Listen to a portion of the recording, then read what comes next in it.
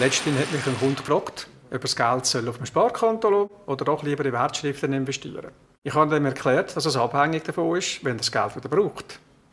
Das Auto, das er nächstes Jahr kaufen will, das Geld dafür, das soll auf dem Konto bleiben. Es bringt jetzt zwar nichts, aber es ist da, wenn er es braucht. Hingegen das Geld, das er erst in 10 oder 15 Jahren braucht, da kann er getrost in Wertschriften investieren. Weil es ist erwiesen, dass wenn ich lange genug warten kann, entsprechend mehr Zucker bekomme, wie ich investiert habe. Auch wenn es zwischendurch auf und ab geht, da kann man entspannt bleiben. Das ist wichtig dabei.